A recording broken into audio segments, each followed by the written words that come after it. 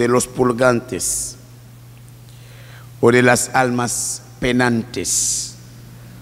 Ustedes lo llaman almas purgantes, almas penantes, o las almas del purgatorio, o las ánimas del purgatorio.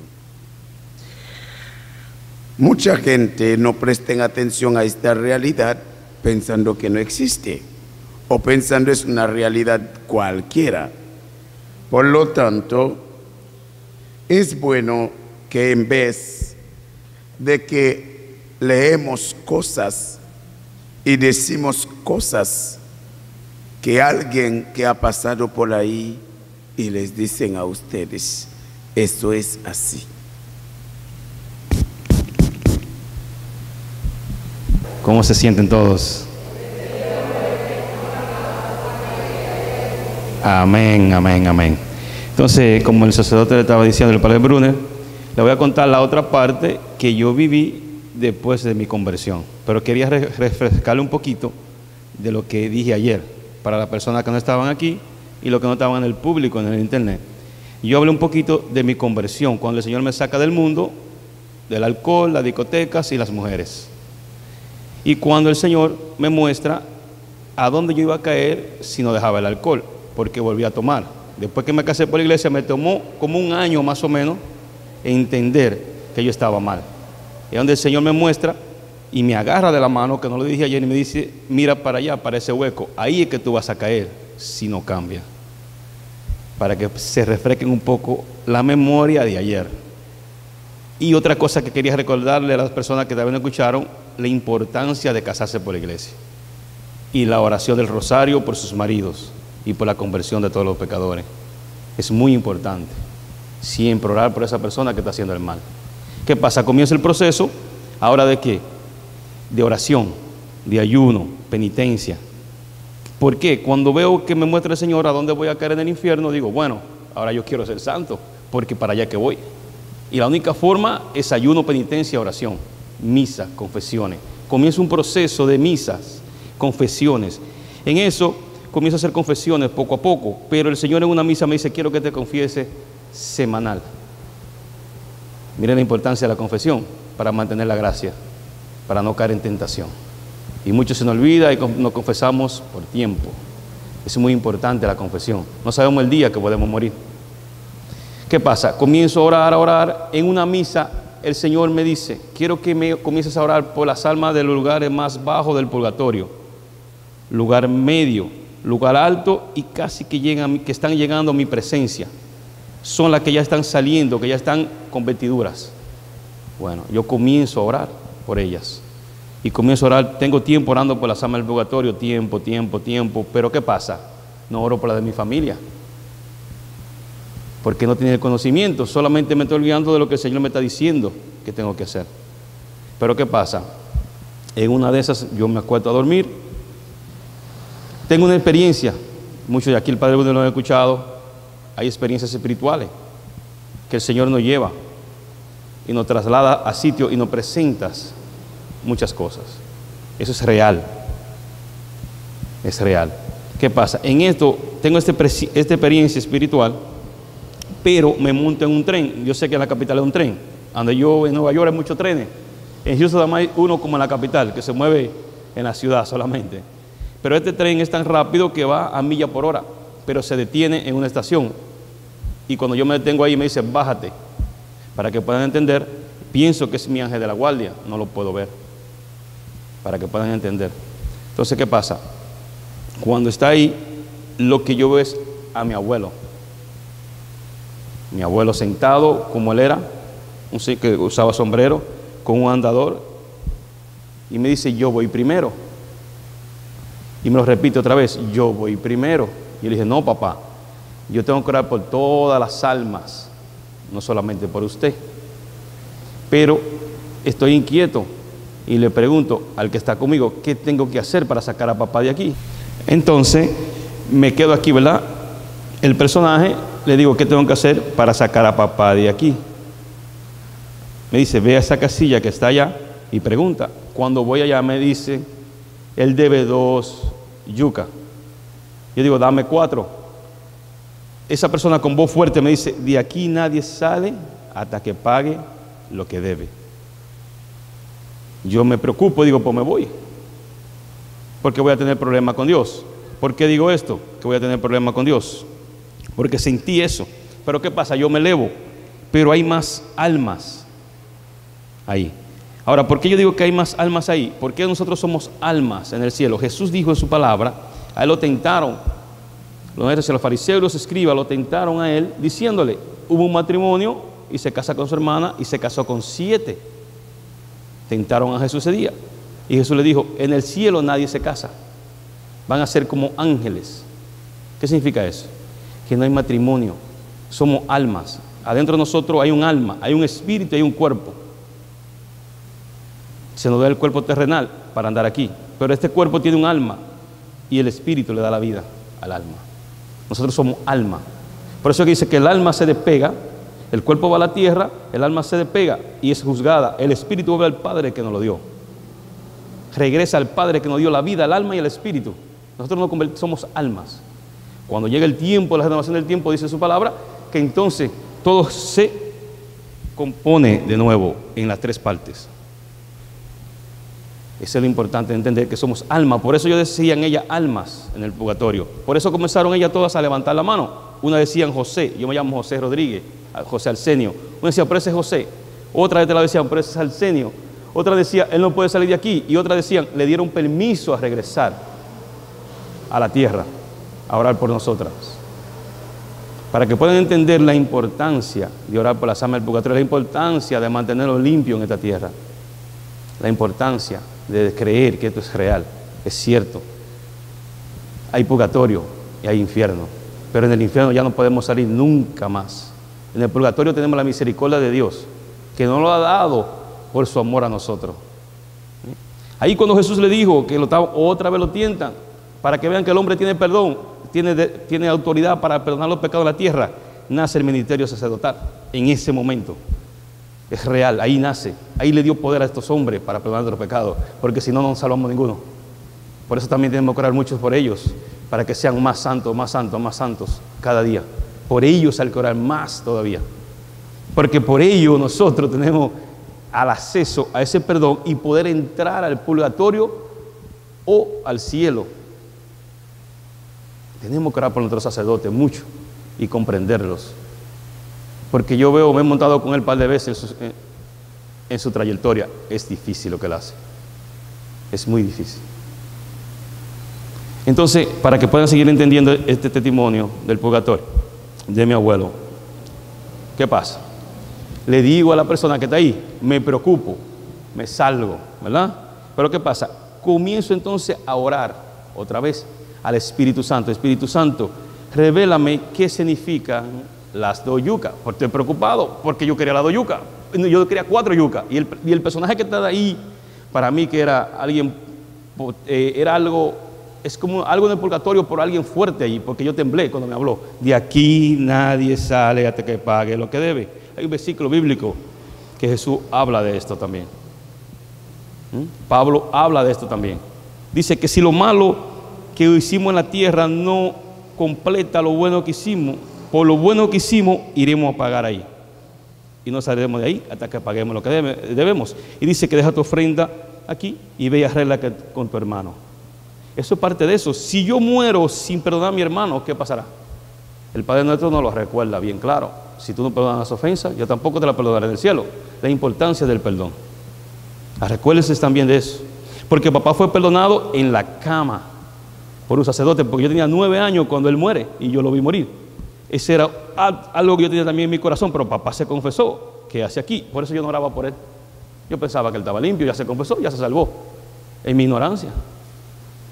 Pero la confesión sí lo salvó del infierno.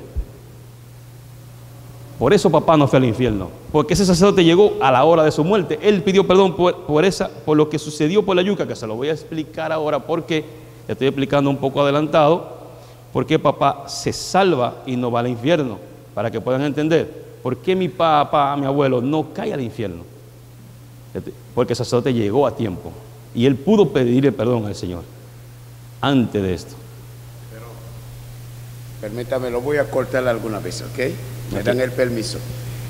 El papá de él podría pasar menos tiempo en el purgatorio.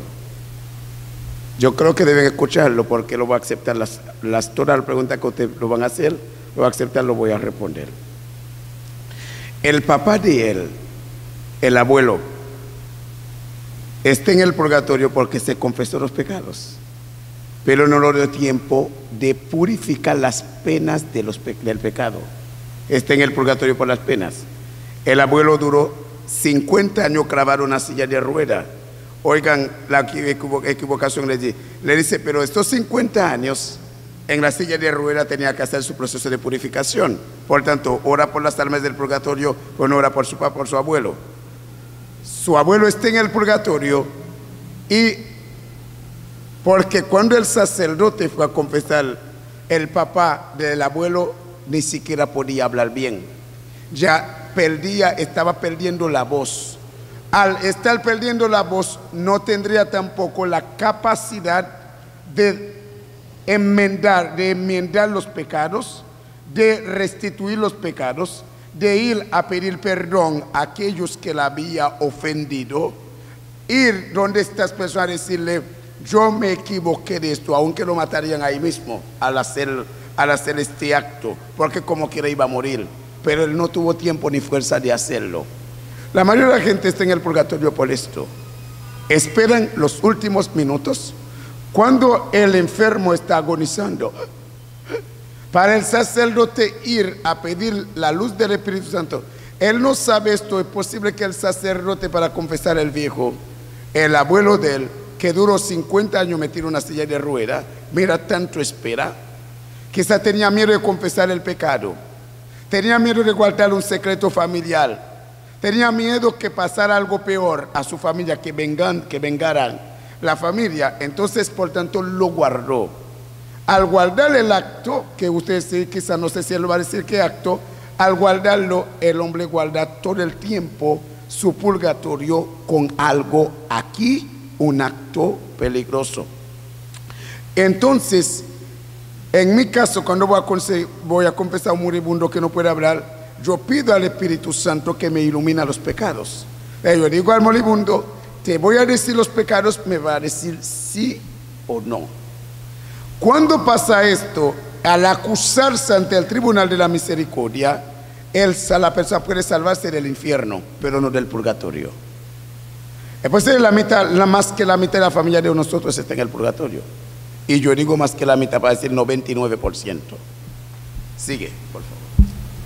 Entonces, como le estaba comentando, el personaje le pregunta a la persona y él me dice que debe las dos yucas.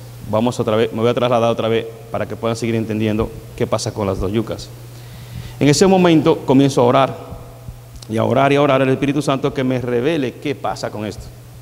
Me dice, habla con una familiar de mi familia y pregúntale a ella, no voy a decir el nombre aquí, pregúntale a ella qué pasó con las dos yucas. Esa familiar de mi familia se agarra la mano a la cabeza y dice, ¿quién te contó eso? Hay un secreto que mi abuelo guarda en su corazón. Algo que él hizo bien malo, algo muy fuerte.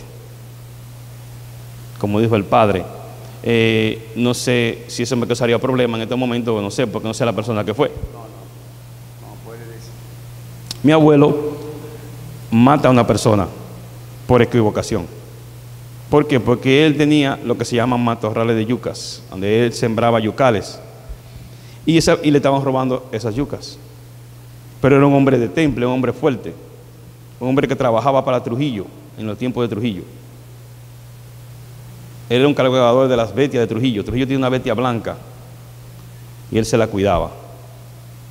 Ahí es que papá sufre ese pasmo en su cuerpo y queda paralizado que más a mí anoche me hacía el cuento como él caminaba. Así duró el tiempo que el padre acaba de decir. El papá mata a esta persona. Y es que donde papá entonces comienza a pagar este tiempo. ¿Qué pasa? Yo comienzo a orar. Okay, entonces, ¿qué puedo yo hacer por mi, por mi papá, por mi abuelo? Y segundo orando al Espíritu Santo, le pregunto, entonces, ¿por qué duró tanto tiempo? ¿Por qué está en el purgatorio si él duró tanto tiempo así, en esta, en esta situación? Él estaba pagando el tiempo de vida de esta persona en esta situación. La vida que le roba a esta persona, él la está pagando en vida él mismo. La muerte de esta persona. Yo vuelvo a cortarlo otra vez. Miren, yo vuelvo a cortarlo un poquitito, pero no, no pierde, mantenga el hilo. El papá de él, para que ustedes sepan, el abuelo cometió el error equivocado. Ahora me va a decir, si se mata a alguien, debe caer en el infierno. Nadie puede quitar la vida de nadie. Ustedes van a quedar con esa duda, pero vamos a crear. No importa, usted mata a alguien, usted no se confesó, usted no, no enmendó, no pidió perdón, no restituyó, tú vas para el infierno. Porque nadie tiene derecho de quitar la vida de nadie. Es por eso en la modernidad se están jugando entre el coronavirus, entre otra cosa, entre otra cosa, para para ejecutar y alcanzar lo que quiere alcanzar. Ya ustedes me entienden más o menos. Ok, entonces, esta persona en la finca de su abuelo robaban. Robaban las yucas y estaban acechando el ladrón. Este ladrón lo tenía en su sobra. Quizá no es para matarlo, quién sabe, quizá para darle un golpe, como la policía no hacía nada, el campo y para que se aprende y entonces otra persona se metía en el lugar a descansar en el yucal. Y este momento, ¿quién encontró, quién que va a ser víctima como inocente que va a pasar por este ladrón que nunca robó, va a ser este señor? Pero cuando el abuelo de lo encuentra, lo único que lo hace es enfrentarlo como lo vio, lo, lo, dio. Y esto causó la muerte de esta persona. ¿Cómo causó la muerte de esta persona? Él quizá no investigó si era inocente o no, pero dice, ya acabamos con el ladrón. ¿Por qué cae en el purgatorio? Porque también a él lo estaban haciendo un daño. Y él no sabía quién. Y quien encuentre en el lugar va a ser el ladrón, aunque no es. El enemigo eh, jugó en esta jugada para causar la condenación eterna de su abuelo. ¿Me entienden, sí o no? ¿Me entienden? Es una planificación demoníaca para causar que la familia, el linaje de él se convirtieran en asesino.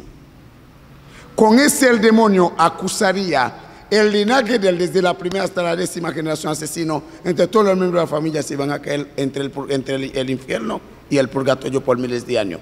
El abuelo de los 50 años en, el, en, el, en silla de rueda, tres días aquí, tres días de penitencia, padeciendo un dolor en el cuerpo suyo por un alma de purgatorio, significa 10 años, dice María Sima.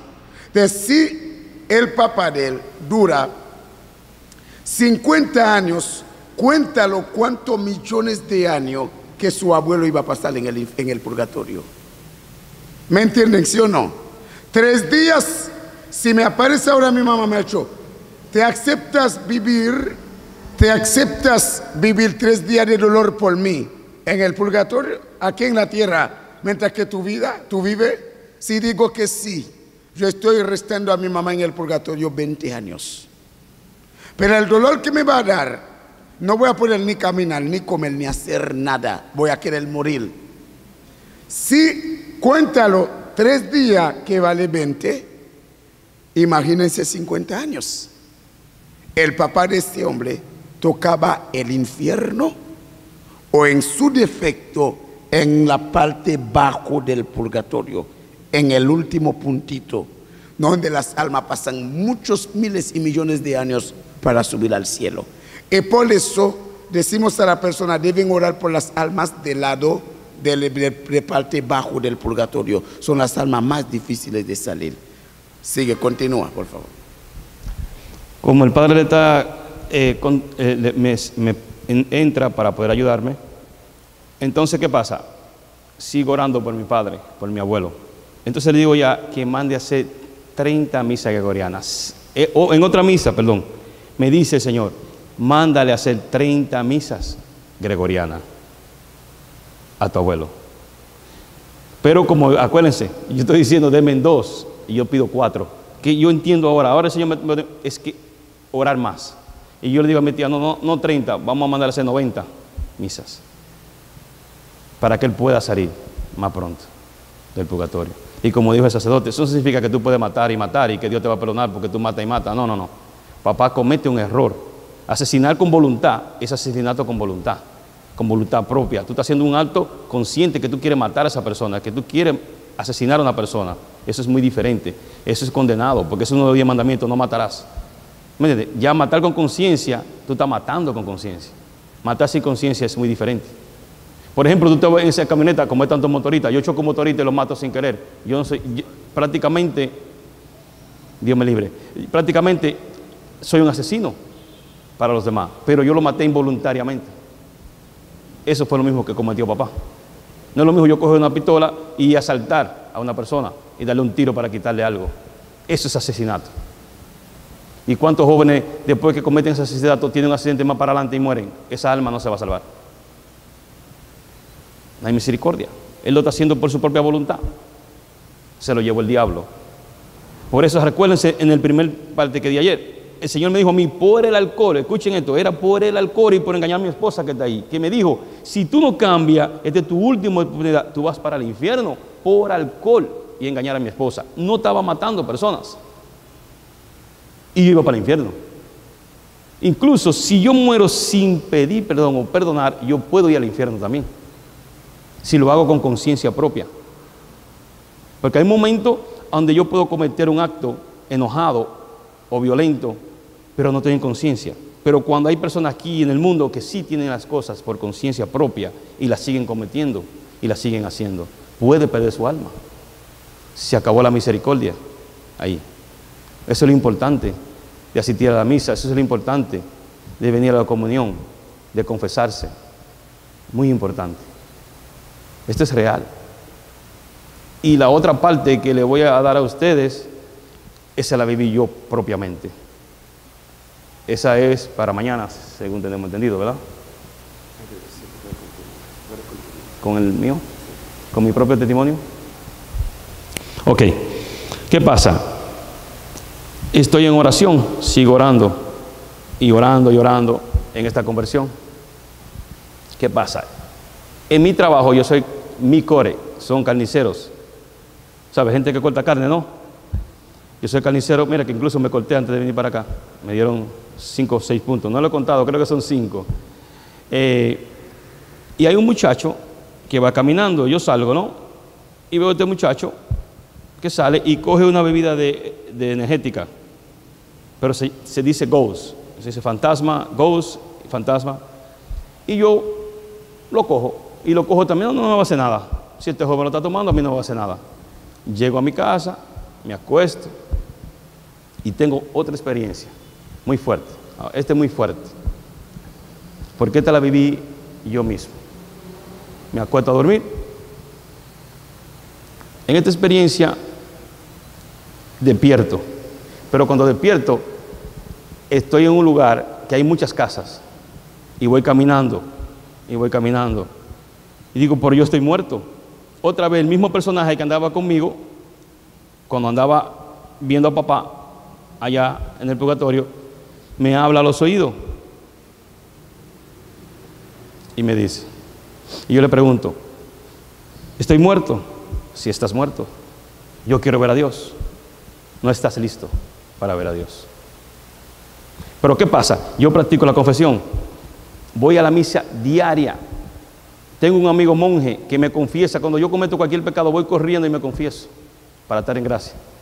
Y yo acababa de confesarme al otro día, antes de a dormir. No, me confieso ese mismo día y me acuesto a dormir. Pero ¿por qué pasó ese día? Yo corregí a una persona no del agrado de Dios en mi propia casa. Puedo decir, él es el papá de mi esposa. Lo corregí pensando que yo soy muy sabio. Pero a Dios no le agradó. Como yo corregí al Señor. No le agradó. Para que puedan entender que por qué entonces yo me encuentro en este lugar. Pero cuando yo me encuentro en este lugar, que, le digo a él, entonces merezco el infierno, me dijeron, no mereces el infierno tampoco. Entonces, ¿para dónde voy? Entonces, hay una santa, cuando yo comencé mi conversión, que es la Madre de Calcuta. Yo compré un librito y siempre lo oraba a ella. Intercede por mí para que mi alma no se pierda. Intercede por mí para que, para que mi alma no se pierda. Y la que estaba en el tercer piso era ella, la Madre de Calcuta. Ella va a ser tu profesora, me dice al oído este personaje. Y me dice, camina conmigo. Y me lleva a esta casa. Entra ahí. Cuando entro a esta casa, se me da un libro así, de grande. Y se me da un cuaderno así pequeñito. Ustedes saben los pupitres que habían antes. Yo nací aquí en Santiago. En Bella Vista había un pupitre, no sé si aquí lo tienen todavía, los pupitres que eran pequeñitos. Unos banquitos que tú estudiabas. Y se me dice, siéntate ahí. Y se me da ese libro grande y la macrotica pequeña. Y se me dice, y si hay una luz pequeña así, una luz. Y se me dice, aquí vas a durar 15 años. Y yo, no, no, yo no quiero estar aquí. ¿Por qué? ¿Por qué le digo esto? Porque yo practico la santidad, yo quiero ser santo. Yo soy la persona que creo que no tengo que ir directamente al purgatorio. Mucha gente dice, estás loco. Los sacerdotes me han dicho a mí, tranquilo con eso. Pero yo le digo, espérate. Pero es que Jesús en ningún momento dijo en su palabra, vayan al purgatorio. Ok, es un lugar de misericordia. Y eso es lo que yo creo, ¿eh? Esto no me lo dijo nadie a mí, eso siento yo en mi corazón al leer este versículo, ¿no? Jesús dijo, sean perfectos, sean santos como yo soy santo. Jesús nunca dijo, vayan al purgatorio. Ese lugar para mí Dios no lo dejó a nosotros por misericordia. Pero ¿por qué yo tengo que ir ahí si he sufrido tanto aquí en esta tierra? No le he contado mi testimonio completo. Yo tengo mucho dolor en mi corazón, mucho sufrimiento. Ya el Señor me lo ha sanado casi todos. Pero yo no sé si todavía tengo que tener alguna herida porque todavía hay cosas que no están perfecto adentro de mí. ¿Mm? Para que puedan entender este mensaje. ¿Mm? ¿Por qué que yo creo estas cosas? ¿Por qué yo pensaba que yo podía ver a Dios directamente? Porque me acabo de confesar el malte. Siento que estoy bien, que estoy limpio. Pero desen cuenta que algo muy bonito aquí. El Señor también dijo que, lo que los pecados que Él perdona y tú no lo vuelves a cometer, no se, no se te presentarán de nuevo, serán borrados si no lo haces de nuevo. Pero acuérdense, yo cometo un pecado después de la confesión. ¿Qué fue qué? Que traté mal a una persona. Le hablé de una manera que no era agradable a Dios. Para que puedan entender el testimonio. Y entonces vuelvo, vuelvo a la misericordia de Dios. Cuando yo digo que Jesús dijo en su palabra que sean santos como Él es santo, que sean perfectos como su Padre perfecto. Eso es lo que yo tengo en mi corazón, la perfección. Yo quiero ser perfecto para estar en su presencia. Yo creo en la perfección, porque Él no hizo nada malo. El mundo se puso malo. Satanás convenció a Adán y a Eva para esto. Y yo creo que si Jesús murió en la cruz del Calvario, yo puedo purificarme a través de su sangre y llegar a la perfección. Esa es mi creencia, esa es mi fe. Esa es la fe que yo tengo para entrar al cielo. Por eso yo me negué a quedarme ahora en ese banquito 15 días. 15 años, perdón. ¿Mm? Para que puedan entender. ¿Qué pasa? Le digo al personaje, yo no quiero estar aquí. Y él me dice, ¿qué quieres? Yo quiero regresar para atrás, para tierra, le digo. Yo estoy muerto. Yo estoy viviendo esto muerto. Realmente yo morí ese día. Real. Sé que morí me dio un, preinfarto. El, sacerdote cuando estaba contando dice que fue un preinfarto. Yo digo, bueno, yo estaba muerto, porque estoy muerto, porque estoy, me están juzgando. Me dieron condena, 15 años en ese banquito. Ya me dieron condena. Y yo no la acepté. Y digo, no, no, no, yo no quiero estar aquí porque yo quiero ver a Dios cara a cara. Y yo soy de lo que creo que si Él sufrió tanto allá y ya lo hizo por mí, ¿por qué yo tengo que ir ahí a ese lugar de castigo, seguir sufriendo otra vez? Aquí se sufre mucho. Es todo lo que tú crees aquí, en tu mente, y lo lleva a tu corazón. Todos podemos ser perfectos. Jesús era perfecto en la tierra, si no, ninguno fuera salvo. ¿Y cómo él lo logró? Dice que era hombre y Dios. En ningún momento dice que él era Dios solamente. Él tenía un ser humano igual que nosotros. Lo único que no tenía era pecado. Ese es el ejemplo que yo me estoy llevando en mi corazón. Que él no tenía pecado y yo también puedo vivir sin pecado. No sé cómo lo voy a lograr todavía, pero quiero hacerlo. Entonces, ¿qué pasa? Cuando regreso a la tierra, ¿saben dónde yo estoy? En mi casa en Houston, en un ataúd, muerto. Mi esposa vestida de negro con ese velo que ella tenía ahí, negro, y ella de negro y mis hijos llorando. Otros decían, pero ¿de qué murió José? ¿De qué murió Arsenio? No salió en el análisis, ahí se decía que no salió nada en el análisis de que yo morí. Acuérdense, me tomé una energía de esa, un energy drink. Allá se llaman energy drink. Red Bull, esas cosas. Tengan cuidado con esas cosas. Con esas cosas que se toman para, para darle fuerza a uno. Tengan mucho cuidado con eso. Eso te puede dar un infarto y ni sale que fue por eso. Porque decían que no sabían de que yo morí. ¿Qué pasa aquí? Entonces, yo tenía siempre en la cabeza, mi esposa me decía a mí que ella iba a morir primero que yo. Y yo le digo, al que está conmigo, le digo, bueno, déjame salir y hablar con mi esposa, déjame abrazarla, a ver qué pasa, si es verdad que estoy muerto, real. Él me, dan el permiso de salir de la caja, abrazo a mi esposa y le digo, mira mi amor, tú pensabas que yo, que tú te ibas a morir primero que yo, pero me morí yo primero que tú. Entonces ahí me preocupé. Pues real, estoy muerto. Yo quiero regresar para atrás, le digo. Y regreso para atrás otra vez. Y cuando está se me dice, ¿qué quieres hacer? ¿Te quieres quedar con nosotros los 15 años en esta silla? ¿O quieres regresar? Yo dije, yo quiero regresar a ser mejor persona en la tierra. A regresar a hacer lo mejor que yo pueda para ver a Dios cara a cara. Esa es mi fe, eso es lo que yo creo. Esto no es que nadie me lo dijo y que nadie me lo ha dicho y que algún sacerdote me lo ha dicho, no, no, no. El purgatorio para mí es un lugar de misericordia, es un lugar de amor de Dios para aquellas personas que no pueden purificarse en la tierra. Pero el católico que tiene los siete sacramentos, que tiene los diez mandamientos, que tiene la Eucaristía, que tiene el Santísimo, que tiene el Santo Rosario, que tiene la Virgen María, que tiene la confesión, ¿por qué no puede ser perfecto como el Padre fue perfecto? Y santo como Jesús fue santo en la tierra. ¿Por qué no? ¿Por qué no podemos hacerlo? ¿Qué nos lo impide?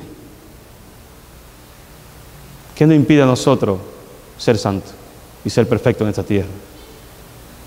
Solo tener la voluntad y ofrecérsela a Dios y decirle al Señor que tome nuestra voluntad y nos haga santo.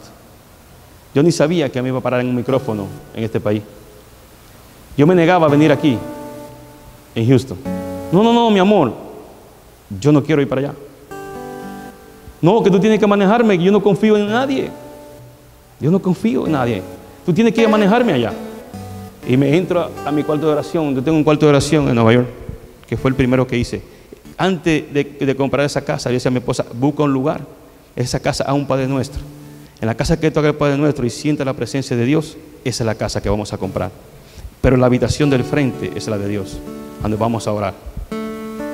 Ahí me entré a orar y le pregunto al Señor, ¿qué hago? Me dijo esta palabra. Oh, hay una persona que ora conmigo que se llama Delia Quintero, en Estados Unidos. Estoy con ella en mi casa y salgo del cuarto de oración. Digo, mi amor, el Señor me dice que, que tú tienes una misión con los sacerdotes en República Dominicana. Ella, no yo, ella. Y me sigo negando, porque era para ella que yo pensaba que era que iba a estar aquí. Aunque ella está conmigo, tú tienes una misión con los sacerdotes en, la- en República Dominicana. Porque ella vino a hacer unos asuntos con sus padres aquí, pero no tenía quien la manejara. Yo me fui pequeño para Estados Unidos también, no sé andar aquí. Pero ella me dice a mí, tú tienes que ir a manejarme. Eso fue lo que el Señor me dijo. Y le doy el mensaje a ella. Pero estando en la terraza del Padre, en sus casas allá, me llama la señora de oración. Me dice, ¿a dónde tú estás? Digo, yo aquí estoy. ¿A dónde? ¿Con el Padre Brune? Acabo de orar por ti y acabo de verlo los tres juntos. Salúdamelo. Yo, wow. Todavía no ha pasado que el sacerdote me dice a mí que yo voy a hablar aquí.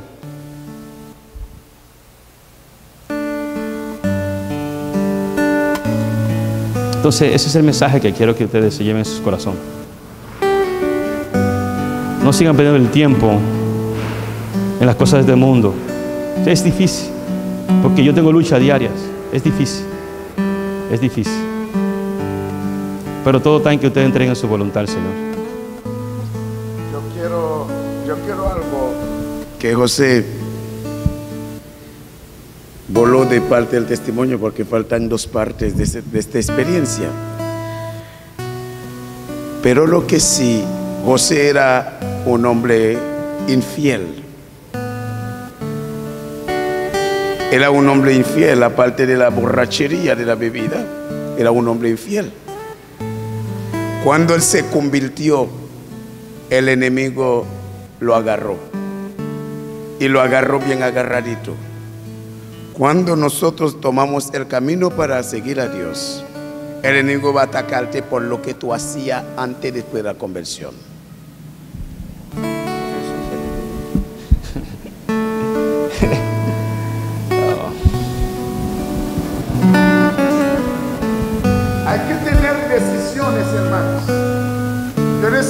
Ahora en el retiro que vengo, lo que más me asquean, escúcheme la palabra, son personas que dicen que son cristianos, que aman a Dios, que son malas. Y lo que me cuesta de entender, religiosos y religiosas, hombres y mujeres que comulgan, que golpean a Jesús y lo escupen. Él tuvo una experiencia, vio el purgatorio, vio el infierno, vio a su abuelo. El Señor le está enseñando el camino del hecho. Y el Señor dice, es tu última oportunidad, toma la decisión. El Señor tiene que protegerlo, sí o no. Pero la tentación ya no sale a buscarla. Los cristianos que no tienen decisiones radical se van toditos para el infierno. Tú tienes que decirle esto, no. Estaba diciendo ahorita a la gente, mire, una persona me llegó, hermanos, ¿saben el deseo que tengo de comenzar ese proyecto? Por la carga que tengo en el hombro, por la emergencia que hay en el proyecto. Me llegó una persona, me dijo a mí, si tú quieres, quiere, yo hago la inversión, te construyo la primera parte de la construcción. Pero mis, mi interés es esto, esto. Yo digo, no, ese proyecto es de Dios. Aunque hay mucha gente que están hirviéndose de envidia por esto. Pero este de Dios. Por tanto, lo siento mucho. No te necesito. Volvió y me preguntó. Y digo, te alejes de mí. Para siempre no te me acerque. Hasta las mujeres que tú te, tú te ganaste. Tú lo ganaste presentándole lo económico. Y quien se busca a alguien por lo económico nunca sea tu amigo. Quien te busca llevar al pecado no es tu amigo, es un enemigo de Dios. Hay que tener decisiones radical si no quiere que tu alma vaya al infierno y si quiere que te salves del purgatorio. Entonces el padre, tengo que confesarlo entonces, bueno, seguir el testimonio, porque es, es, es muy fuerte porque me costó trabajo anoche porque mi esposa estaba ahí. Bueno. ¿Qué pasa? Me gustaban los carros también, mucho, estas cosas, ¿no? Me gustan todavía. Tengo que orar para que se me quite ese deseo de tus vehículos. Entonces, ¿qué pasa? Vuelvo otra vez y se me montan mujeres de las que yo tenía antes en el vehículo. Como dijo el tentado por Satanás. Me iba con ella. Pero en un momento dado esa voz me decía, bájala ahora del carro bájala ahora. Yo le daba para un, le decía, bájense y toma para el taxi y vete para tu casa. Porque el Espíritu Santo me había dicho, ya, tienes un compromiso conmigo y no te suelto. Esa es la importancia de los que no se han casado por la iglesia, de casarse por la iglesia. Pero como dijo el Padre Bruno, hay que tomar una decisión y decirle a ese pecado, ya no más, ya no más. Está adentro de nosotros decirle no al pecado, adentro de nuestros corazones. Está decirle a ese pecado no más.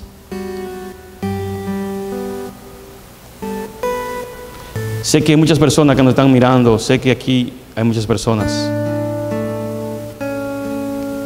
Siento en mi corazón que hay muchas personas que no han podido perdonar todavía a un ser querido, que han ofendido a personas y no han perdonado todavía. Los que me están escuchando, los que están aquí presentes, si el Señor está tocando tu corazón en este momento, cuando salga de esta misa, las personas que están escuchando por el canal, vayan a abrazar a esa persona y a pedirle perdón. Pídanle perdón a esas personas. Y los que no se han confesado, busquen una confesión lo más pronto posible y confiesen en sus pecados. Porque no sabemos la hora que vamos a morir. Miren lo que me pasó a mí. Por un Drink, a mí me dio un preinfarto, como dice el sacerdote. Para mí fue un infarto también, muero. Quiere decir que cualquier bebida, cualquier comida en un momento dado me puede hacer daño y yo morir. Y morir en pecado mortal. Gracias Señor yo me había confesado el martes, no morí en pecado mortal, tenía un pecado de ofensa a un hermano. Por mal, corregirlo. Y me dieron 15 años ahí. Lo que yo le quiero seguir orando al Señor era si eran 15 años humanos o 15 años de Él. Porque si eran 15 años, eran 15 mil. Ahí había sido más difícil para mí. 15 mil años sentado en una silla sin pararme, estudiando, porque le hablé mal a una persona. Simplemente le hablé mal. Lo corregí mal. No que le hablé y le peleé y le... No, no, no. Simplemente le hablé mal. No lo corregí como se debía, según la voluntad de Dios. Imagínense. Llegar al cielo, llegar al tribunal celestial, presentarse ante la presencia de Dios con un pecado mortal. Teniendo todo el privilegio que nos dejó Jesús en la tierra. La confesión, los sacramentos, la Santa Eucaristía, el Santísimo, el Rosario, la intercesión de los sacerdotes, la intercesión de, de las personas que oran. Aquí en la tierra hay personas que oran fuerte. Aquí hay personas de oración fuerte en este mundo. Aquí hay intercedores fuertes en esta tierra. Gente que se mantienen en la gracia. Porque no todos son pecadores así, impervenidos. Aquí hay gente de oración. Gente que Dios usa para interceder. Lo que sí que la gente de oración que están escuchando y la gente que están aquí, que oran, que sé que aquí se ora mucho en este país. De que yo, yo llegué aquí y vengo a estas misas, siento el, el poder de Dios. Siento a Dios más. Aquí en República Dominicana. Aquí hay algo especial en este país. Algo muy especial en la gente de aquí. Ok, hay muchos atracos, hay muchas cosas. Pero además estamos fijando en lo malo que hay. Y en lo bueno que hay, nadie se fija. Aquí hay mucha gente buena. Yo fui a una casita que va mi esposa y nos dio una funda de naranja. Era lo único que tenía. Qué agradecido estoy yo de esa funda de naranja. Todavía hay naranja en la casa. Hay gente buena, gente de oración. La mano de atracadores. Este país es especial. No es porque yo sea de aquí, sino que aquí la gente es amable, cariñosa, amorosa. Pero a veces el hambre y la desesperación lo lleva a muchos jóvenes y a muchas personas a hacer cosas malas. A veces se nos acerca un joven y en vez de ayudarlo, lo maldecimos. Y ese joven lo que se convierte es un delincuente, de un asesino, un atracador. Por en vez de darle amor y escucharlo, no, lo tratamos mal. Y lo mandamos a la calle a hacer cosas que ellos no quieren hacer. Por eso que de niño hay que instruirlo, amar a Jesús, amar la iglesia, amar los sacramentos, amar a Dios, amar al Santísimo. Yo llegué aquí con, con un dolor de cabeza bien grande. Y fui y me arrodillé allá. Y dije, Señor, ayúdame. Simplemente me senté, me arrodillé allá. Y después me senté con un librito a leer que me, me dio mi madre, un librito que dice sabiduría. Y me lo traje. Y me senté allí, lo leí un poquito. La importancia de venir al Santísimo. Aquí, aquí, aquí. Me dice, Señor, aquí es que se tiene que entregar las cosas. Aquí tú tienes que venir a entregar tu alma a tus hijos. Aquí. Pero hay que dar rodilla, hay que orar, hay que pedirle a Dios.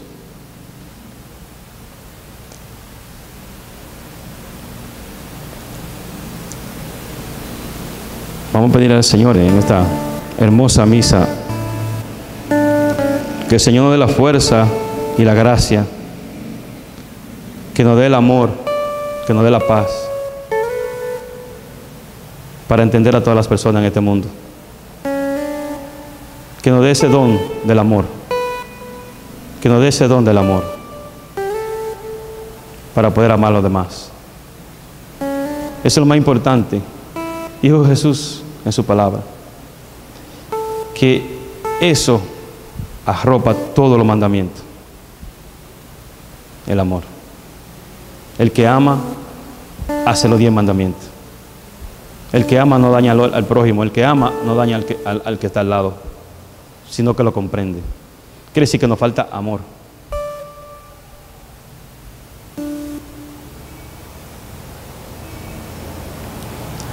Si el padre Brune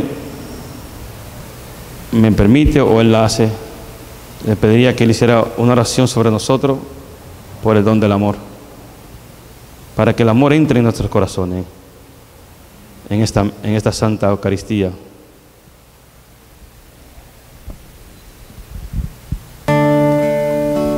Para que usted no haga una oración pidiendo el don del amor sobre él. Siéntense cómodo, hijos.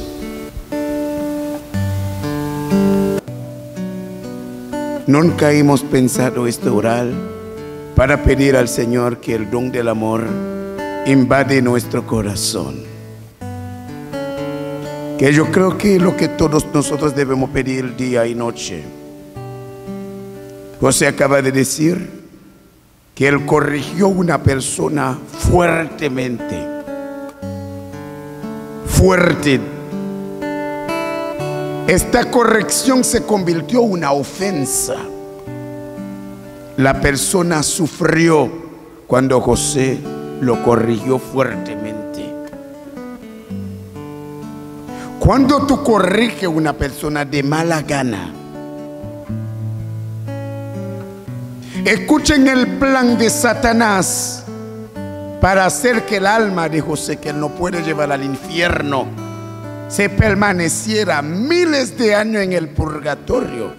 Porque 15 años en el purgatorio, cuéntalo hermanos, si tres días aquí en el dolor en el cuerpo, alma y espíritu, te causa tres, tres días de dolor, equivale a 20 años del purgatorio. Imagínense, 15 años eran miles y miles de años que José iba a sentarse en esta burtaca con estas con este bombillo frente con una libreta, con un libro grande, esperando que la madre Calcuta bajara del tercer piso, del, del piso más alto, significa el lugar más cercano de Dios, para que instruyera a José. ¿Qué es lo que Calcuta iba a instruir a José? Hermanos, cierren sus ojos y mediten esto. Calcuta en sus últimos tiempos ha sido la mujer más que practique el amor y la misericordia. Por tanto, está diciendo, Calcuta es la madre de la instrucción a la misericordia y el amor. Si José tiene mucho tiempo pidiendo al Señor, a la Madre Calcuta, Madre Calcuta interceda por mí, para que mi alma no vaya al infierno ni al purgatorio. Entonces esta misma santa se convierte en instructora que manda las instrucciones a José en el purgatorio para decirle, me pediste que orara por ti para que no vaya al purgatorio, pero tú no hiciste nada. Te caíste en el purgatorio. Ahora tengo el trabajo de venir aquí para instruirte, para enseñarte a amar y a corregir el otro con amor.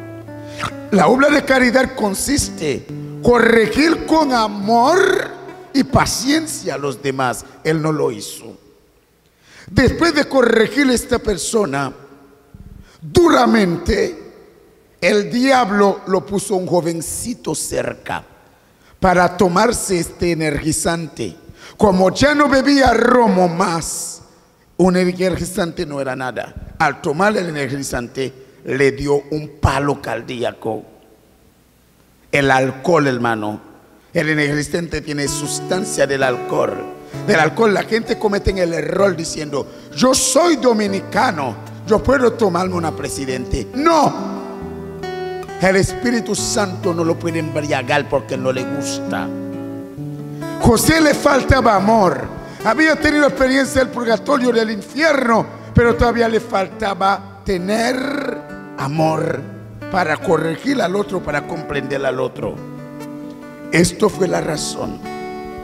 Es por eso yo creo que la misma Madre Calcuta que pide hoy a José que ofrece nosotros oráramos por para pedir al Señor amor. Comienza a pedirle perdón primero al Señor por las veces que has ofendido a los demás, por las veces que has reclamado a los demás, por las veces que has sacado en cara a los demás cosas que tú sabes que le duela, por las veces que tú acusaste a los demás, por las veces que echaste la culpa a los demás, por las veces que tú abusaste, manipulaste a los demás. Hermanos, hace cuatro días sentí que el Señor me dijo en el Santísimo, los manipuladores se perderán sus almas. Pon sus manos en tu pecho. Vamos a pedirle al Señor que infunde su amor en el corazón de todos y cada uno de nosotros. Dile, Señor, en este momento me, está llegando, me están llegando todo mi genio contaminado. Tengo un genio que yo mismo no lo puedo dominar. Hermanos, José murió porque dice que él se confesó, pero él cometió este pecado quizá después ante la confesión, como no mató a nadie, pero hizo otro sufrir. Cuánta trasnoche, cuánta trasnoche pasó por ti alguien. ¿Cuántas veces hiciste sufrir a los demás? La santidad comienza amando al, a Dios, respetando al prójimo y amándote a ti mismo y no ofender a tu prójimo. Señor, ven ese momento. Comienza a infundir tu amor en nosotros. Comienza a quitarnos el orgullo que todos tenemos, el resentimiento que bloquea el paso al amor donado y entregado. Sana, Señor. Infunde tu amor, Señor, en nuestro corazón. Danos el don de, de amar amar a aquellos que no nos aman, amar a aquellos que nos odian, amar a aquellos que nos hablan mal, amar a aquellos que nos han hecho pasar momentos difíciles. Amar, Señor, es lo que queremos en este momento. Y por todas las almas que están en el purgatorio, están en el purgatorio porque no amaron totalmente. Y el amor es el fuego del purgatorio que enciende el corazón, que quema el amor, el, alma para para hacer esta alma, para purificarlo por medio del mismo fuego del amor, hasta envolverlo en el manto de amor para poder alcanzar la salvación. Señor, infunde en nosotros el don del amor. Como el Padre mi amor. Yo sé amado, permaneced en mi amor. Todos díselo. Permaneced en mi amor. Pon la mano sobre tu pecho, cántalo. Como el Padre me amó yo sé amado, permaneced en mi amor, permaneced en mi amor. Si guardáis mis palabras, como hermanos os amáis. Compartiréis con alegría el don de la fraternidad. Si os ponéis en mi camino, sirviendo siempre a la verdad fruto daréis en abundancia, mi amor se manifestará. Cántalo con todo vuestro ser, díselo. Como el Padre mi amor, yo os he amado, permaneced en mi amor. Mi amor. Permaneced en mi amor. Dile al Señor en este momento, yo fui egoísta y soy egoísta, pero no quiero seguir. Con mi misma y única fuerza yo sé que no puedo. Señor, enséñame, dime cómo debo salir de estos callejones sin salidas. José no podía salir, dice, ¿quién entra aquí no sale? Pero dice, él tiene el permiso. Hermanos, solamente entra en el cielo aquellos que aman de verdad aquí en la tierra. Entra en tu genio, entra en tu forma, a ver si aquí hay gente que van al purgatorio. Aquí si hay gente que van al cielo. Oh Jesús. Jesús amó hasta la cruz. Padre, perdónalos porque no saben lo que hacen. Jesús en la cruz se desprendió. En la cruz, la cruz es la fuente que emana la misericordia. He aquí a tu madre, he ahí a tu hijo. Todo amor. Después él dijo, yo enviaré el paráclito para enseñarles todo lo que ustedes no escucharon ni pudieron comprender. Envió el Espíritu Santo. El Espíritu Santo es con él, es el amor con el que Dios nos ama. Es por eso el Espíritu Santo lo dijo a José, apéame esta mujer en esta guagua. Apéamela. Dile Jesús, permítame apear de mi vida, de mi corazón.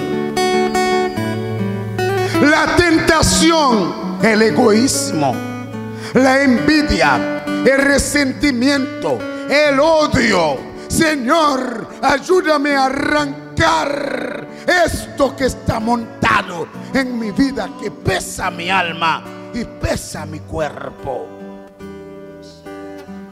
Hermanos, tengo la experiencia que el hombre es tan interesado. Cuando ves los suyos se amenazan y hacen mucho daño. Pero no debemos tener resentimiento, pero debemos tener decisión. Decisión no. Usted me hizo daño, te perdoné. Si no te puede evangelizar, usted no quiere mi catequesis ni mi testimonio de vida. Te dejo en la mano de Dios. Tú decides dónde va. Somos muy interesados. El interesado no puede amar.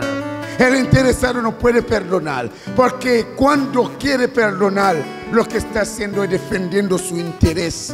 Juega un papel de mentira, de fingimiento. No es auténtico. Señor, invádenos con el don del amor. Que antes de defender nuestro interés, defender la vida, la salud, la santidad, la espiritualidad, la gracia. Hermanos, los hombres aman cebado, aunque te dice mi amor, pero no ama.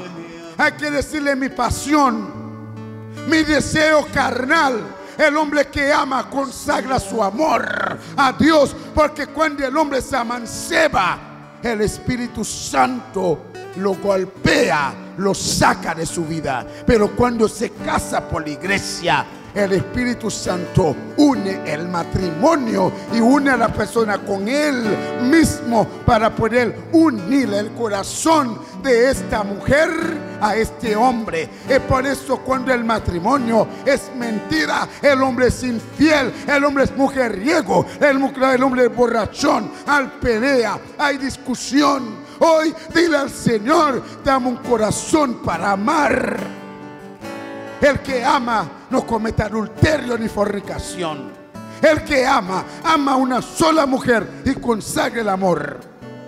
Y cuando va a casarse, quien viene para unir este lazo de amor? Lo llaman amor indisoluble es el Espíritu Santo. Cuando rompe con tu matrimonio, acuesta con mujeres, te embriagues, tu falta contra el Espíritu Santo, hermanos.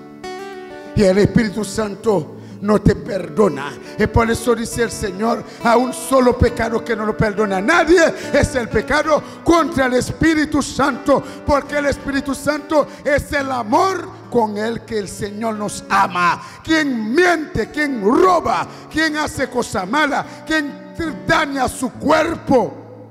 Oh hermanos, y estas mujeres con tantas cirugías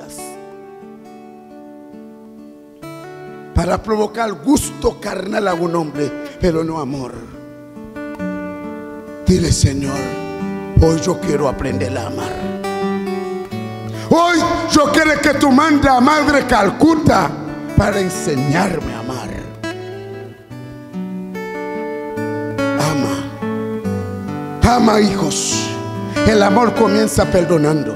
El amor comienza entregando todo. El amor comienza cuando no hay interés. El único interés es Dios. Hoy las almas del purgatorio. Nosotros queremos amar por ustedes y este amor lo ayuda a salir más rápido. Permaneced en mi amor. Díselo con todo el corazón. como el Padre me amó. Yo